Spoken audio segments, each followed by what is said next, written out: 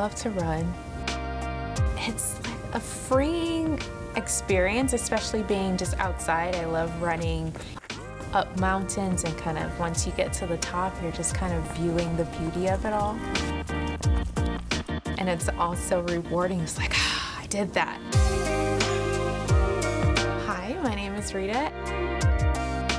I am a clinical lab scientist and I manage our clinical laboratory.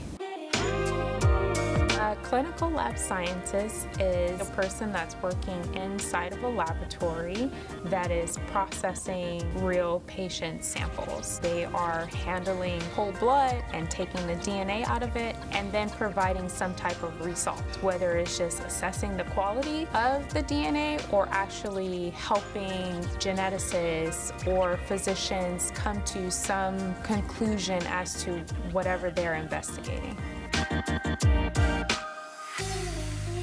CLS arrives at 6 a.m. We'll talk with the other CLS on third shift to see if there were any issues from the previous shift. From there, they look at the quality of the current runs and then looking at what samples need to be processed. By 8.30, we have a FedEx shipment that comes in. The inventory management team processes those samples, so by 9, the CLS will extract the DNA from the whole blood, set up their runs to prepare the DNA to go through our library preparation process so that it can be put onto our um, DNA sequencers.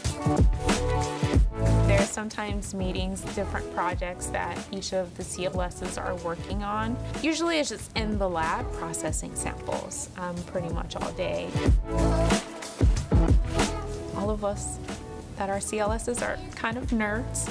So just you like being in the lab. If you love science and you enjoy or have the desire to help people, I think a clinical scientist would be a good fit for them. I love it.